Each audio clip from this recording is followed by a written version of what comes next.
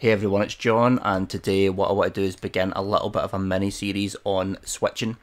Uh, so, this series is going to be kind of loosely based on the CCNP or the current CCNP switch exam. So, that means we're going to be covering topics like uplink fast, backbone fast, root guard, loop guard, dynamic ARP inspection, that type of stuff.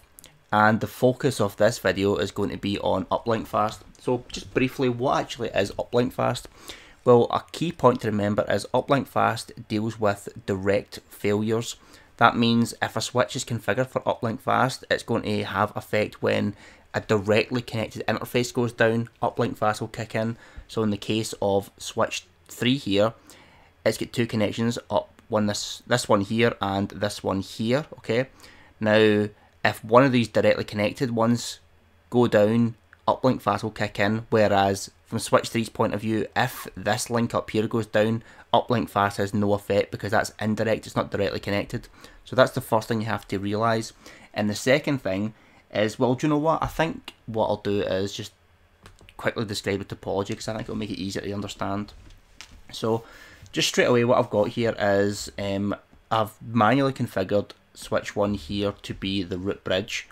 Um, and that means, of course, by default, is that all of its links are in designated mode, which means they're all forwarding. So this is forwarding traffic, this is forwarding traffic, this is forwarding, and this is forwarding. Now, naturally, of course, every other switch, which means this, this, this, and this, all need to find a path to the root bridge, and that path, the quickest path, will be through a root port. Now, all links are the same speed, so it's quite simply an a hop count calculation here, obviously. In the case of switch 2, it's going to be gigabit 00 going across here will be the root port. In the case of switch 3, it's going to be gigabit 01 will be the root port. Uh, switch 4 will be gigabit 02 will be the root port. And switch 5 gigabit 03 will be the root port, all to get to this root bridge here, okay? Now, the next thing is we're going to have some designated ports and some blocked ports. Now, the way it's transpired is that um, switch 2, apart from the root port here, the rest of switch 2's ports are all forwarding. They're all um, designated ports. So effectively all the ports on switch uh, switch 2 are forwarding. We've got the root port forwarding here and we've got these designated ports also forwarding, okay? Which means that by deduction, in the case of switch 3, this is forwarding, which means that uh, gigabit 02 is now blocking. Switch 4 is forwarding, which means gigabit 01 is blocking. And switch 5, gigabit 03 is forwarding, so gigabit 10 is also blocking. Okay, so let's just home in on switch 4 just now, right here, okay? So switch 4 is this one here. And like I say, this link is blocking. Now, what would happen in the case of an uplink failure, i.e. its connection uplink to the root bridge, what would happen if this link just completely failed? Well, in the case of normal spanning tree, which is one thing which I should say is that when you're dealing with uplink fast and backbone fast, these are ordinary spanning tree features. They don't count in rapid spanning tree. Rapid spanning tree has got its own mechanism to deal with this, and it deals with it better actually. We'll get to that in another video though. So effectively in normal spanning tree what's going to happen is once this link here goes down, before this one here, the previously blocked link, before this link here can start going forwarding to allow traffic to transit up this way, spanning tree is going to go through a listening stage, which is going to take 15 seconds, and then a learning stage, which is going to take another 15 seconds, which gives you a total of 30 seconds of outage before this link will go forwarding, which means that for all the users connected down here, okay, this could be a office here with all PCs and whatnot, they have no access because this link is blocked and this link is still blocked for 30 seconds.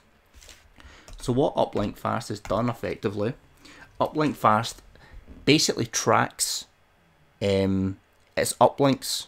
Okay, so it's still receiving BPDUs, and I'll get to that in a minute.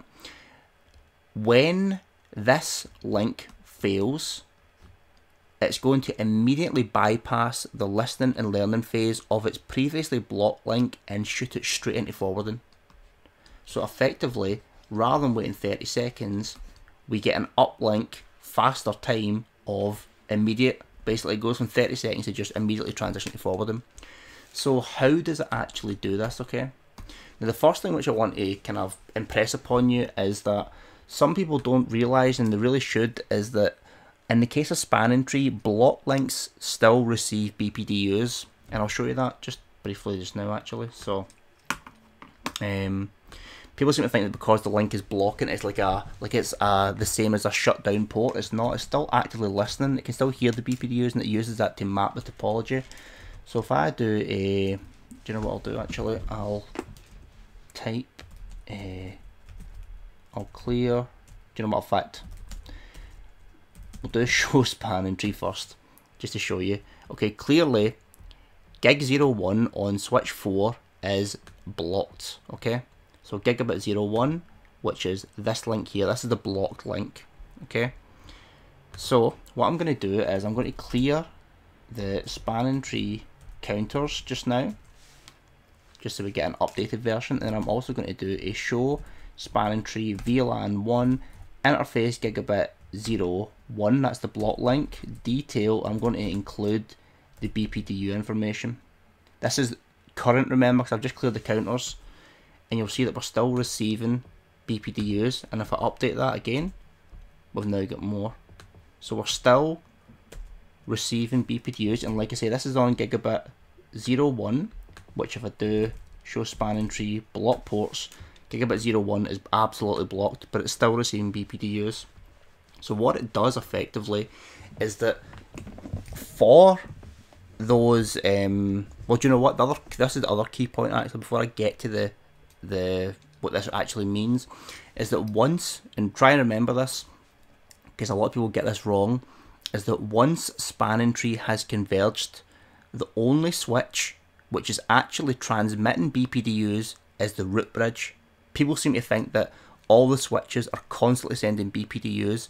No, see when spanning tree has um, is completely synchronized, the only one transmitting BPDUs is the root bridge, and I'll show you that as well. So let's say, let's have a look at a designated port. So of course, um, like I say, show spanning tree our designated port or forwarding root port is gigabit 02 okay?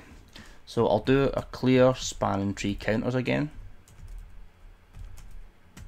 And if I do a show uh, spanning tree VLAN 1 interface gigabit 02 this is the forwarding one okay? In detail we're going to see that it's not saying any it's just receiving. Even though it's forwarding it's design it's root port sorry and it's still that'll just stay the same. So it's not going to send any. The only one which is sending is switch um, 1. Now, here's the thing though. If we go to switch 2, we're going to see that it is actually sending BPDUs, which kind of sounds like it's contradicting, but it's not sending its own BPDUs. All that's happening is the BPDUs from the root bridge are being relayed through it. So if I do, say, show, if I do a clear, spanning tree and count as a game and I do a show spanning tree VLAN 1 and just pick gigabit 02 okay? Gig 0 in fact do you know what let's pick uh, gigabit 01 because that's going to be connecting to this switch here which is the one we're talking about so do this link here. Gigabit 01 detail up int. Gig 01 detail. We're still sending these BPDUs okay but that is only because it's going through a root port here and a designated port. Now you notice that can't happen this one because we've got a blocked one and just a, a root port, but because this one's got basically it's got it can fully transit right through because these are all forwarding. It's still forwarding the BPDUs originated from the root bridge. So what is the implication here? What am I trying to say? Effectively, what uplink fast does is that in the case of, if I just go back to the drawing, this is a block port, okay? Now, if this port is still receiving the BPDUs, it's known that this is effectively an uplink path because it's receiving BPDUs on a path to the root bridge, okay? So it's not just a connection just to here or some random connection, it's an uplink path, it's calculating that, okay? So what it does is uplink fast effectively creates a group, okay? And it's grouped these two together in this case. It's got its forward forwarding one to the root bridge and it's like a kind of backup path, okay? And it knows uplink fast effectively says that in the event that one of my group members goes down, i.e. this one, immediately transit this one into forwarding state. Do not wait 30 seconds. That's what uplink fast is going to do, okay? Now let me just show you the practical application. So quickly what we'll do is I will shut down gigabit uh, 01 and this does not have uplink fast configured yet, okay? So if I do, uh, well, I'll shut down gigabit 02 because that's the forwarding one. So if I do int gig 02 and shut this down, okay? So that will shut down and do a show spanning tree. We're in the listing stage, okay, for gigabit 01. And this is going to take up to um, 30 seconds. We're in the learning stage. And this is what it's going to take to transit. In the case, however, let's do the same thing on switch 3, but we'll configure it uplink fast. Now it's just configured in global configuration mode and you can't configure um, uplink fast on a per VLAN basis. It's simply uh, it's the command as you see it right there. I'll just take off the caps lock there. Uplink fast. And that's us. That's all the command is. So basically what we're going to do is, is in the case of, like I say, show span, we have gigabit 01, which is forwarding.